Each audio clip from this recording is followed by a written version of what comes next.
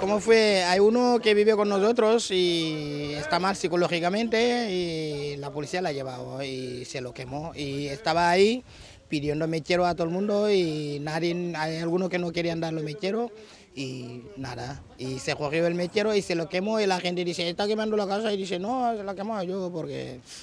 Y sé que ha visto tonterías en la casa, no sé, no sé cómo se dice eso en español. Uh, espíritu, yo qué sé, espíritu y este cosas y nada. Y eso, esto y nada más y se la ha quemado y la policía la ha llevado, eso es lo que hay.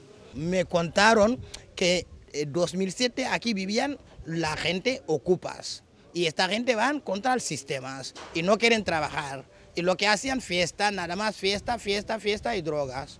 Y me lo han dicho hasta los bares que están aquí, me lo han dicho, "Me- ahora estamos más tranquilos que antes esto.